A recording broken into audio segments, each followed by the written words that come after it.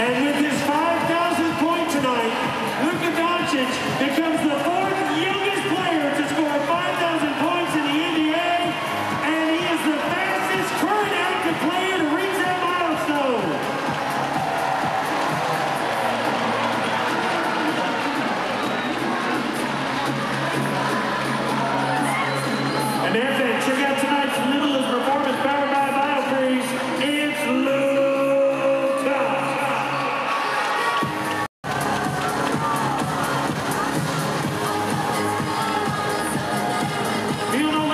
Sanchez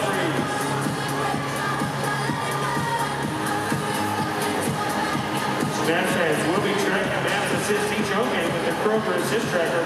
For every assist, the official Kroger of the will donate $20 to support the Mavs Foundation. With 21 assists tonight, the Mavs have now totaled 754 assists at home this season. And Kroger has donated